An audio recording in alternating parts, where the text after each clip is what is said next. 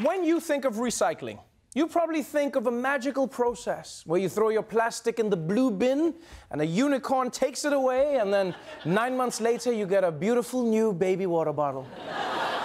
but the truth is, much like making an actual baby, the recycling process is much messier than what you may believe. When most of us put out our recycling on trash day, recyclers sort through it, bundle it up, and ship it overseas to be recycled. For decades, much of that waste was sold to China. America's main export to China by volume was trash.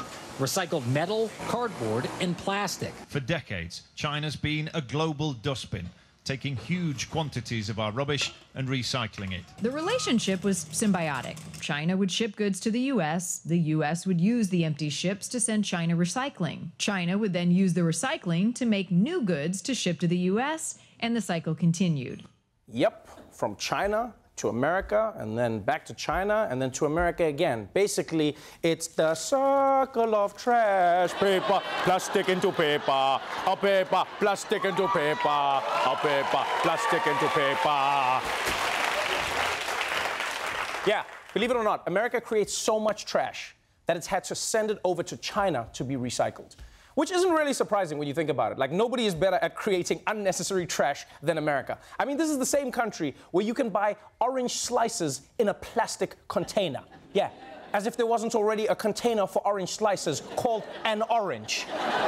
it's in the container. And for a very long time, the relationship worked, right? America sent China its recycling. China turned it into fake Louis Vuitton bags. But then, just like your ex, after a while, China decided it was sick of taking trash.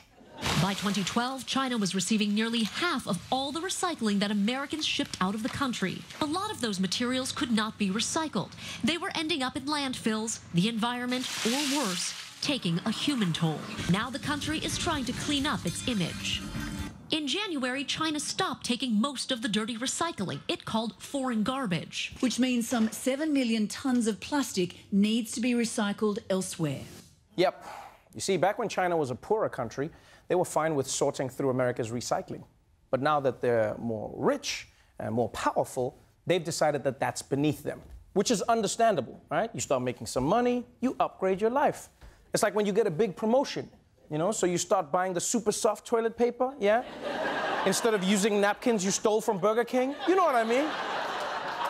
You know, when you lay them together and you make sure the corners overlap. We've all done that, come on. So, with China no longer taking America's plastic, all the recycling has had to find somewhere else to go. And for a while, there were a lot of countries in Asia that were willing to take it. In fact, they were happy to take it. This used to be mostly paddy fields but rubbish, which has been dumped here for almost 40 years, dominates the landscape. Villagers here don't mind. In fact, they welcome it. Like many others, Giman makes a living from sorting through the waste. This used to be a poor area. I couldn't even afford to go to school. But with this trash, I could put my three children through school. My oldest is getting a PhD. That's insane, right? Like, that is one of the craziest things ever. This guy managed to get his kids a degree from trash, which is ironic because that trash probably contained a few actual degrees. and his story wasn't the only one.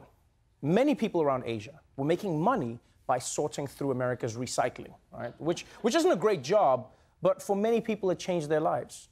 But as we said earlier, America uses a lot of plastic. And after China closed its doors, many of these smaller countries couldn't handle the volume of plastic recycling that was coming into their countries. It turned from a blessing into a curse, which is always the case with plastic, let's be honest, right? Whether it's plastic recycling or plastic surgery, a little bit is okay. Yeah? Yeah. But if you do too much, you look like you're always watching the end of an M. Night Shyamalan movie. Just like, what? They're allergic to water? So just like China, all these other countries have decided that they've had enough of Western trash. We don't want your recyclable trash. That is the message from Cambodia. That country just sent back 83 shipping containers filled with 1,600 tons of plastic waste back to the U.S. and Canada, saying, quote, Cambodia is not a dustbin where foreign countries can dispose of waste. Countries like the Philippines say it's Western waste littering their shores, sent to poorer countries instead of being recycled. The president of the Philippines, Rodrigo Duterte, even made it very clear uh, to Canada that the trash was not welcome, to, to send it back. Uh, to Canada. Your garbage is uh, on, uh, on, on the way. Prepare a grand reception. Eat it if you want to. oh, wow. Wow. Rodrigo Duterte. Rodrigo Duterte does not mess around. Prepare a grand reception for your trash and eat it if you want to. It's a slam, but it's such a weirdly formal way to tell someone to shove it up their ass. Like, no, like I'd love to hear Duterte deliver a yo mama joke. It's just like your mother has overindulged so much that the government recently bestowed upon her her own area code. Slam. So, Cambodia, Malaysia, Philippines, China, all of them have come together to say it is time for America's trash to go home. In other words, send it back. Send it back. So now, the trash is headed back here to the US. And you might be saying, well, fine, Trevor, we'll just have to recycle it ourselves. Well, unfortunately, it's not that easy. So, what happens now to the plastic we used to ship to China? Not much. A lot of it's just piling up here in the States. A lot of plastic comes to recyclers like Bulgaria all mixed together, impossible to separate cost effectively. Cities across the country are now re examining whether their recycling programs are going to waste. Is it better for people to recycle wrong or not at all? It's better for people not to recycle at all. It sounds crazy, but you have to put it in context. Okay, when it comes to like tin cans, like all of that stuff, you can still recycle it. But when it comes to plastic, incorrect recycling is worse than no recycling at all. And even though you might think, no, I recycle correctly, the chances are that you're not. Like we all think we're recycling when we put a plastic bottle in the little blue plastic bin. But what we're actually supposed to be doing is taking the lid off the bottle, and then you're supposed to take that little ring off that's under the lid of every single bottle. Yeah. Yeah. Oh, and if you get takeout, you can't just throw that in the bin and call it a day. Even just rinsing it off isn't good enough. You're supposed to wash that thing, like make it clean, like cleaner than Mike Pence's browser history. Just everything. Yeah, his shit is going. You kidding? He's like, I won't even type Google because it sounds like a sex thing. and now, I know when I say these things, you might be thinking, dude, I love this planet, but those plastic rings, that's too much. Well, well, then there's one other thing we could be doing, and that is using less plastic which I know is hard because we've all gotten used to it. Like, I'm obsessed with it, we all use it, it's convenient, but we're gonna need to try. I've actually thought of a few solutions for all of us. You know, yeah, no, instead of plastic plates, I was thinking we can just use our iPads, okay? Think about it. It's flat, it's big, and as an added bonus, when you watch Netflix during dinner, you don't even have to look up, yeah? You can just be like, oh no, they killed 11. Oh, oh no, that's, that's just bolognese. Mm, ah, yeah, she's five. We can do it for everything. Yeah, as for all those delivery containers that you get from like Postmates, no, that's something you don't need.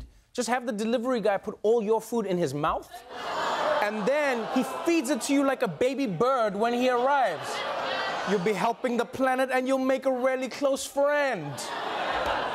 Yeah, so the next time, the next time you plan on tossing out a piece of plastic that you used for like a total of three seconds, just remember that pretty soon that plastic may be headed back your way.